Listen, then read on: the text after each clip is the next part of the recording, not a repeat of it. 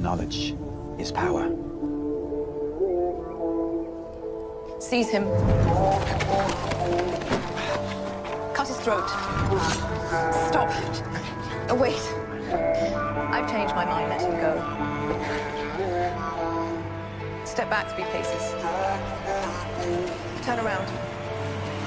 Close your eyes.